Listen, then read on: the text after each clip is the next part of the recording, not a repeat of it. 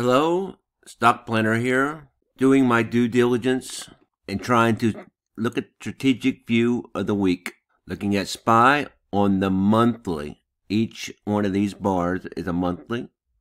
And looked at the past recession. Started around 2008 and into 2009, and then we recovered. And it's been a long recovery and dramatic as well. Now, around the first of the year, it looked like we have are swinging the other direction. Looking at the MACD, the MACD showed a crossover, and so did the RSI, and so did the stochastic, all about the same time, all leading to an up single.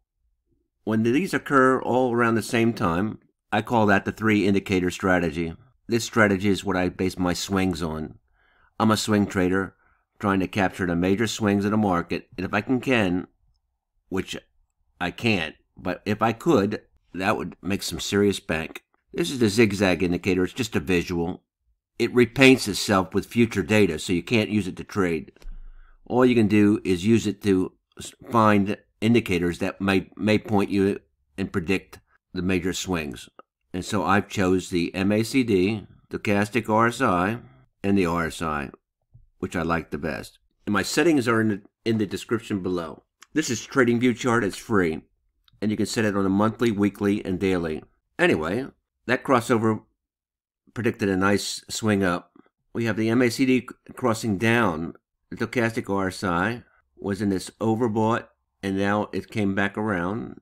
That's an indication to go down. And the RSI pointing down. Anyway, I think we're in a bear market starting around January 1st. And so I'm going to play it bearish. And this is, market is very volatile. Lots of swings. It's hard to play this by the day. Look at this swings up and down. It's hard to pl play it with any kind of accuracy. So, if I think that the, recession is going to go to 2024, and that's taking care of the 2022 elections and the 2024 elections, because I think this re recession is based on the COVID recovery, the inflation, which which we would have had inflation no matter which which regime we have in Washington. But there's going to be a lot of blame going around for the next two or three years, and the political situation is not going to be good, and there won't be any optimism until 2024. By that time, we should have our supply issues. The war in Ukraine should be over. Our production should be starting to come back. We should be doing a lot more manufacturing in the United States. We have a lot of work to do. But if I think this is going down, the 2024, that's what I think. You can think whatever you want to think. By the way, Stock Planner channel is an education channel that we do our own due diligence. You have to learn how to do it yourself. That way, you don't have to depend on anybody on the internet to give you singles or tell you what to do. And if you're following somebody on the internet, that's a very dangerous thing to do. You have to learn it yourself, develop your own strategies, adapt from other people on the internet, adapt from me. You might like the three indicator strategy adapt adapt it make it make it your own or find an indicator that you like better. Anyway i'm playing this down. And so i'm going to use an option invest about 500 bucks and see what happens. Let's make a guess. Then let's go back to the let's look at the weekly. And i already drew this little box to where i think it's going to come down to. And i did that on the monthly.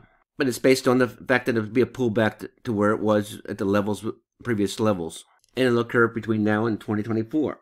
So let's see if we can go ahead and see what that is going to be about. That would be, if it goes down to that far, it'll be 200. It's now at 412. Let's say it's going to go down to 350 here, right about there. Let's see if we can make a, a, a um, deal costing around $500 that if it gets down to that 350 level, to this level here, in the next two years, we'll make some profit. And we hopefully going to make 10 or 12% a year. Let's see what we got, can do. Option Strat is a simulation tool for options. If you don't know a lot about options, this might be a great place to start. We think it's going to go down, and so I'm going to look at a bear call spread, which is an, a credit spread. In other words, it, I, by taking this play, I can put some money in my pocket. I'm going to look at SPY, and I want to go out to January of 24. It's currently trading at 411. And I said, this is a short strike, and this is the, the you, when you do a credit spread, you You sell a, a call and buy a call. And we're going to put this at 350 That's where we think it's going to go. And we'll put this at, we don't want to spend about $500. We'll move this down to 355 That's $5 wide strike uh, spread. Two strikes, $5 apart. Gives us 500 margin. That's you're not borrowing this money. You only it's it's in reserve in case you need it. You get a net credit of 354 and a max loss of 148. So you're risking $148 really for a possible 354. The break even is 353. And if it gets down to 353, let's see what we we got. Is it, it do we have can we take some profit? 353. Let's say it's right in here. Between here and here. Let's just take the low one. 353 is there. So if it gets down there anytime, we could take profit of about 90 bucks. 90 bucks with a risk of 146. It's 61%, 61% profit. That's good enough. It's easy enough to do, and you can set it and forget it for a little while and relax and let the market do its work. Again, if it goes in your wrong direction, your max loss is going to be 146. If it goes up instead of down. And you have nearly two years, 1.7. What do you think of this trade? Good risk reward? Not too costly? Long term. If you're a beginner, trading longer term or leaps, it's a lot easier than trying to do option trades a week or two out. It's just too much volatility in the market right now. Anyway, like and subscribe. We'll catch you on the flip. Happy trading, taking a strategic look on the SPY or the S&P 500.